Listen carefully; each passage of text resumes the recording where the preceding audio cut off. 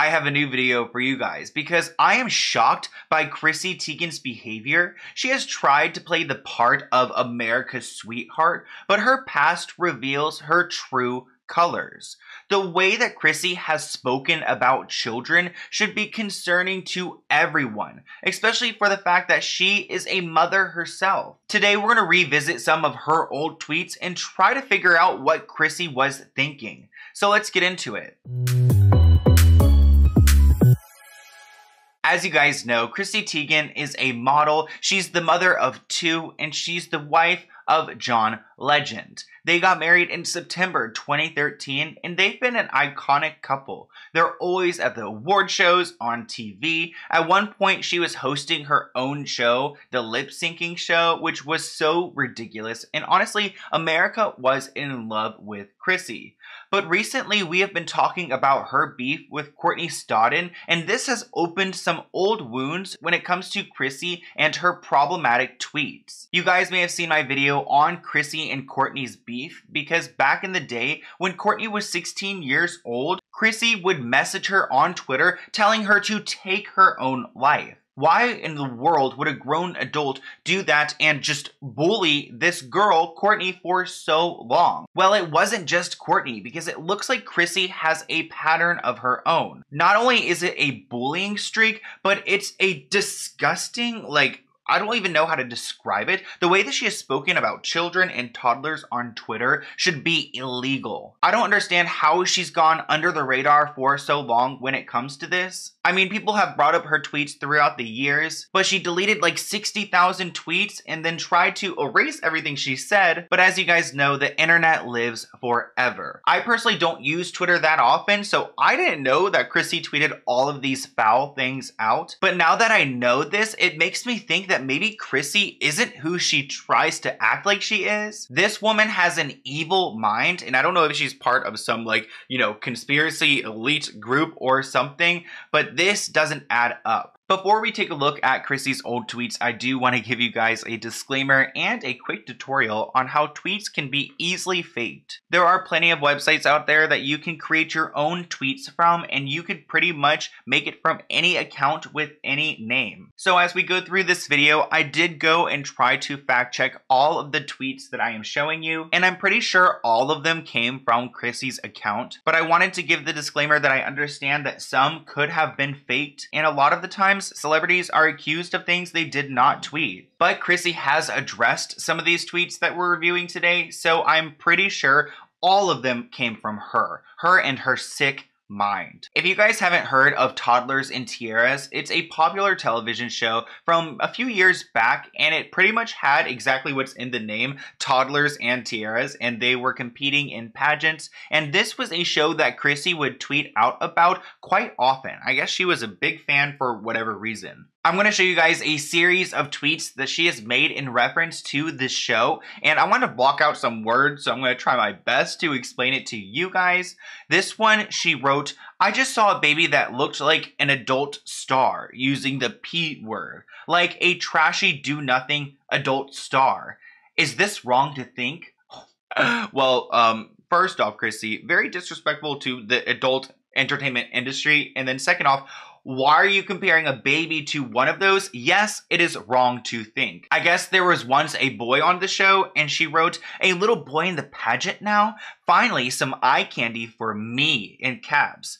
So, um, again, ooh, ooh, what you are a grown woman at this point. What eye candy for a child, a little boy. She said little boy too. Oh gosh, seeing little girls do the splits half, you know, dressed is just dot dot dot I want to put myself in jail. Toddlers in tears. Hold on. We have to break down this one. So she's talking about little girls, obviously not wearing much, um, doing splits.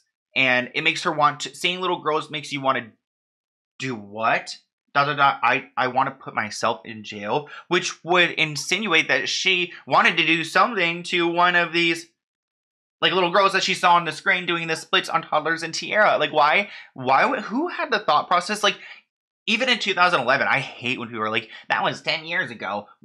was this, I was here 10 years ago. Was this acceptable back then too? Why? Someone please explain to me. In this tweet, she wrote, It always weirds me out how strong little toddlers' tummies can look and I aware of how absolutely disturbing that sounds. So she probably meant I'm aware, and um, yes, it is disturbing. I don't know why you're looking at how strong their tummies look. Is she watching the show and thinking about this? Like, what is going on? Here's another Toddlers in Tiaras tweet because some guy named Chad Kramer, Chad, was asking everyone on Twitter, what does a guy wear to one of these toddler and tiara parties? And she actually replied to his tweet and said, I'm pretty sure she means a belly shirt with a small hot toddler on it saying number one duh which i'm not too sure what she's trying to say here but it's obviously inappropriate one of those like 60,000 tweets that she ended up deleting this next tweet i'm not too sure what she's referring to in the beginning because she writes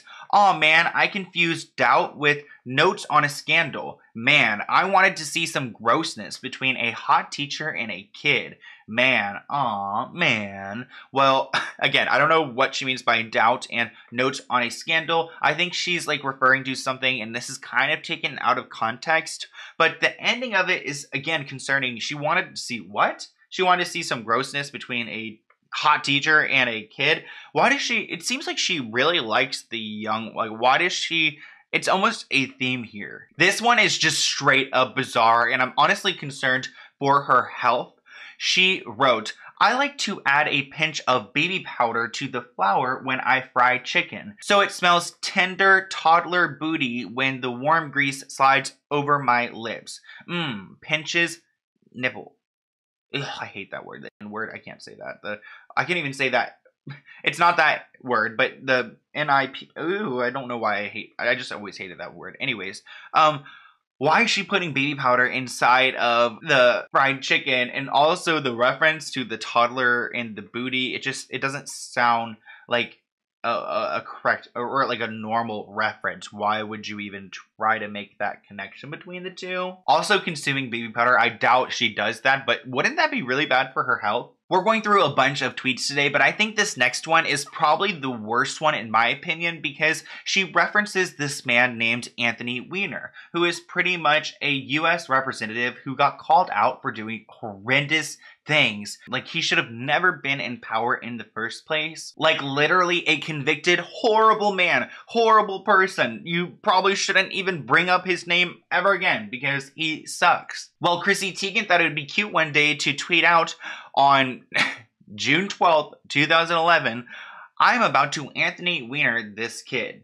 Which I don't know what she would have actually done to the kid that would have been like representative of this Anthony guy. But what? Like, again, what? This is so gross to me and that she thought it was funny for some reason. Like, oh yeah, I'm gonna do these do that to me. It's like it's like joking about the R word. It is so far from okay, and I don't know how she got a pass on this on my channel, I try to stay away from conspiracy theories just because I know they're against like YouTube rules and just because a lot of times they're not pre- like I don't I talk about a lot of factual things on my channel. So I don't want to like talk about things that aren't factual because I usually like to stick to the facts. But I do want to acknowledge there are conspiracies out there about like food references, um, specifically pizza. And there's also that man with the island and his flight log. And I can't even say his name. I'm sure on YouTube. I don't even know. Nor do I even really want to acknowledge these people. But a lot of people believe that Chrissy Teigen is in the wraps with all of these gross Hollywood elites. And honestly, I wouldn't doubt it. And I found a few tweets that did make me question, like, like the pizza thing, which I honestly never really looked into that whole situation. But I'm like, wait, why is Chrissy like referring to these things? Like, I'm going to jail over pizza. Mm, why would you go to jail over pizza? Here are a few more pizza related tweets. Starting from the top, she wrote, I want pizza. And then the next one, she wrote, Brad Pitt just handed us pizza. Which honestly, I think maybe she just meant that literally, like Brad Pitt just handed them actual pizza. So when I saw that tweet, I was like, hmm, maybe she means literally. But also, what if she didn't? And that's like another phrase for something horrible? Like, oh God, like That's why I don't like these conspiracies because it takes my mind to places that I don't want to go. And then finally, the last tweet she wrote I woke up this morning with a pizza on my chest and ranch dressing all over me. So if you think I'm too good for this, you are sadly mistaken. Again, maybe that just actually happened to her. Like the pizza references, you don't actually know if they're talking about pizza or not. So that's what I want to stay out of that realm. But there's no conspiracy when it comes to this tweet because this is straight up foul. Obviously, I have to block out some of the words, but she is talking about the drink Pedialyte. She's doing a little play on words and she wrote skinny, you know, gross people drink Pedialyte. Again, why is she making fun of like criminals who take advantage of children? I mean, maybe she thought it was cute because of the drink, but really, like, that's your humor. I would love to see the type of person who would laugh at this. Like, oh, oh like, oh my god, like, that's so funny, retweet. Like, who? Please show your name. Please stand up. This type of comedy and humor, I it just it goes in one ear and out the other. Another tweet I cannot get out of my head is this one, where she wrote, I'm bored. Really want to watch kids give birth. Where can I watch teens giving birth? MTV? I mean, that doesn't make sense, but I'll try. I think she's making fun of teen moms, but like again, a weird reference. And also just disrespectful to those women. Like, okay, make fun of teenage moms. Great. Like they aren't already struggling with what they're going through. Make them feel even worse about themselves. It reminds me of like Courtney Stodden and actually that actress. Remember in 2013, she was literally getting an Oscar that night for her performance. She is a, again, a young girl, and Chrissy Teigen is making fun of her, calling her cocky. It's clear to me that Chrissy definitely doesn't have that like stand up for women mentality or like feminism mentality because she always makes fun of other women, even children women, little girls. Like I said earlier, Chrissy Teigen deleted thousands and thousands of tweets, but it wasn't before we took a screen grab of a bunch. And one of those bizarre tweets involved eating humans. Chrissy tweeted out, if you said eat this one bite of human and you can eat any other meat for the rest of your life, or Chrissy, you eat turkey forever, I would eat human. Which maybe she just hates turkey. I mean, I get it. I don't really love lunch meat either, but she actually confirmed like this on a, a podcast or something that she would eat like human. And I feel like maybe Chrissy just tries to fish for headlines. She, you know, herself isn't that like, I don't want to say she's very relevant because she's made herself relevant with her husband and her friends and such, but she's not like a singer. She's not like creating like, you know, videos for us to watch. It's a lot of random entertainment here and there. And I feel like headline grabbing is a big part of her mission and her, you know, celebrity. It really revolves around her saying ridiculous things. If the person okayed it, I would eat a human. If you were at a very yeah. fancy restaurant and they were like a tiny piece of human meat. No, no, no. But what she said about those children in those tweets earlier are not ridiculous. Those are sick and very concerning. I mean, why was she, you know, making these children, these like toddlers and tiaras so I know I'm gonna have to blank out that word, but like maybe you guys know what I mean. Like she's trying to make these children like adults when they're not adults and treating them as such. Looking at their splits making her want to go to jail. Like, ew, Chrissy, get out of here. Chrissy has addressed some of the tweets and she actually wrote out, I actually deleted 60,000 tweets because I cannot stand you idiots anymore and I'm worried for my family. Finding me talking about toddlers and tiaras in 2013 and thinking you're some sort of operative. When these tweets first started circulating, I guess Chrissy was extremely defensive and, you know, telling everyone that she's far from one of those creeps, even though she tweeted out these things herself. I mean, even confirming that in that tweet, talking about her toddler and tiara's tweets. And I always said, if you've had that mindset in the past, like, I mean, people can always change, but I don't even know how you get there. And once you get there, how do you get out of there? I guess Chrissy would probably call me a big loser because someone asked her, why are people even checking on your tweets to see if they've been deleted? And she replied, they're losers. You know what? I think a person who sees a child in a compromising situation and then makes a joke about it at their own expense expense is a big loser. And that's just my opinion. I don't think any of her tweets were funny. I don't think they were cool. And I don't think they even aligned with the show at all. It was all just extremely unnecessary commentary about toddlers. In recent years, Chrissy has slowed down on her Twitter use because her past has come back to haunt her, and I'm sure she is embarrassed about it, but she still does things that I think are trying to catch headlines, but also put children in compromising situations. When I first saw this photo online, I really didn't like freak out about it because I was like, you know what, don't try to make this moment gross when it's not. But after reviewing some of Chrissy's tweets, I feel like she's just a gross person, so when you do see these type of things, your mind can't help but to go back to those horrible tweets where she was talking about a boy in a pageant and how that was eye candy to her. People have actually voiced these concerns to Chrissy. Someone replied to one of her tweets saying, Lord, please save that child from suffering it will endure from those parents. May the cycle end with him.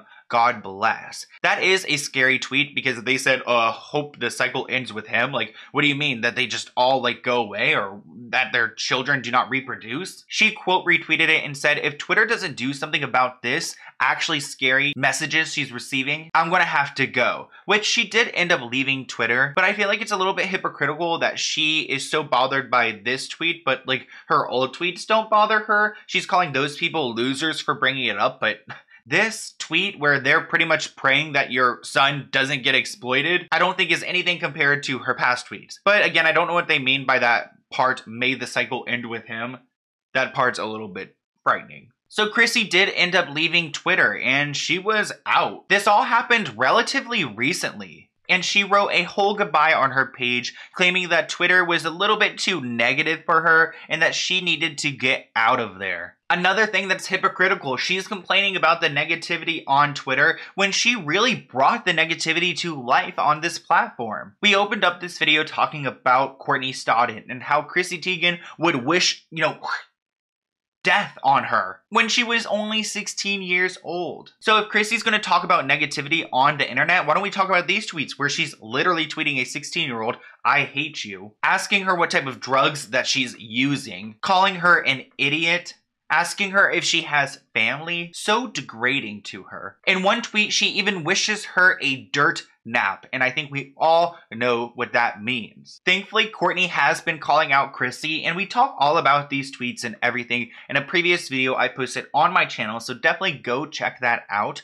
But since that video, Chrissy has actually apologized to Courtney. Chrissy wrote, Not a lot of people are lucky enough to be held accountable for all their past BS in front of the entire world. I'm mortified and sad at who I used to be. I was insecure, attention seeking troll. I am ashamed and completely embarrassed at my behavior, but that is nothing compared to how I made Courtney feel. I have tried to connect with Courtney privately, but since I publicly fueled all this, I want to also publicly apologize. I am so sorry to Courtney. I hope you can heal now knowing how deeply sorry I am, and I'm sorry that I let you guys down. Chrissy has really let her fans down, and I believe that this positive facade that she puts on entertainment news and things like that is just all pretty much fake, because even this apology to Courtney wasn't really sincere. She claims she's trying to reach out to Courtney, but Courtney actually posted on her Instagram page that um, she's never reached out to me, and she still has her blocked on Twitter. So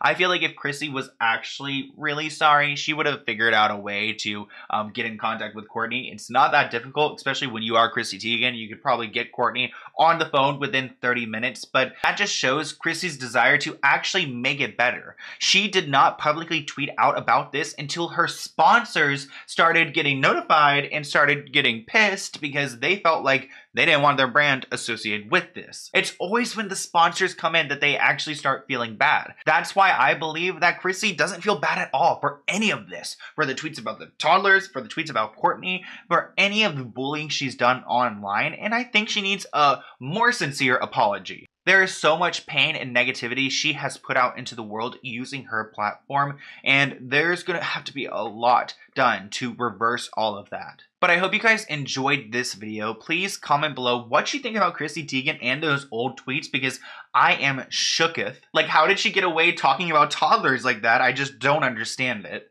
she can be added into the big list of Hollywood creeps. But I'm going to put my email here on the screen. If you guys ever want to email me video ideas, feel free to do so. Or anything else on Chrissy, because I put out my video on Chrissy and I woke up with like 18 emails. So thank you all of you guys for sending me the receipts for this video. I hope Chrissy has learned to not tweet out like this. I feel like when I was young, even like as a young boy, they used to tell me, uh, you know, what you put on the internet, it's gonna be out there forever. So be careful. And I don't know why, but it seems like Chrissy kind of missed that message.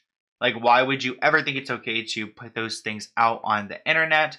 But that's it for me. I hope you guys enjoyed this video. If you want to send anything to my P.O. box, I've got it listed below. I've got like one thing, but I'm going to hold off on that. And I will see you in a new video soon. Bye, guys.